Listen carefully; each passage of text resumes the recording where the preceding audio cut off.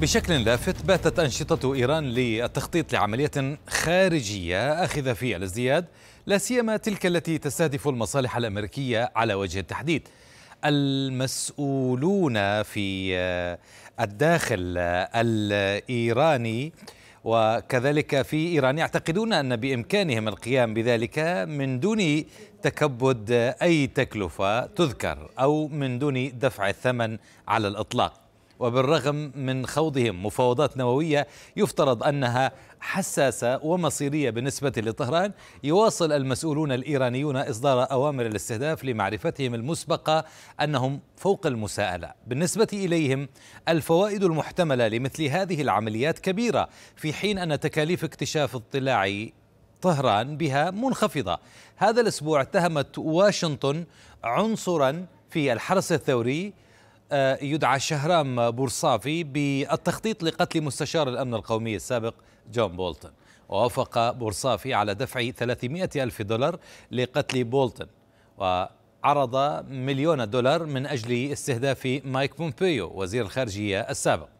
ولإيران سجل حافل في تنفيذ عملية الاغتيال والاختطاف واستهداف المصالح الأمريكية والغربية الأخرى حول العالم.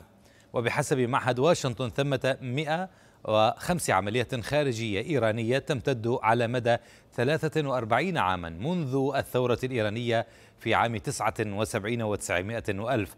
ومن بين 62 حالة استهدفت 23 عملية منشقين إيرانيين. و28 حالة استهدفت يهودا أو إسرائيليين.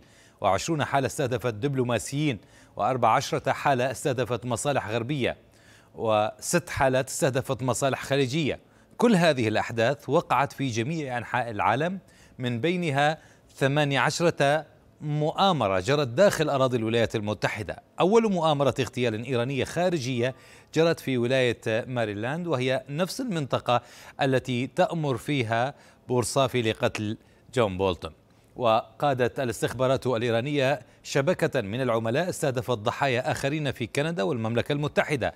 ولدى الحكومة الأمريكية معلومات تؤكد مسؤولية إيران عما يقدر بخمسين جريمة. آه هذه الجرائم هي لقتل معارضين سياسيين للنظام الإيراني وغيرهم في الخارج. وعلى ما يبدو أن إيران ترى أن عملياتها الخارجية تشكل وسيلة فعالة من حيث التكلفة لحماية النظام الثوري في طهران. كما تشكل هذه المؤامرات ردا معقولا من منظور إيران على مقتل قاسم سليماني. ويبدو أن محاولة اغتيال جون بولتون ومايك بومبيو تندرج في هذا الاتجاه فمن إجمالي 105 مؤامرات إيرانية خارجية نفذت إيران 23 مؤامرة اغتيال منذ مقتل سليماني وستا من 23 أخرى وقعت في الولايات المتحدة.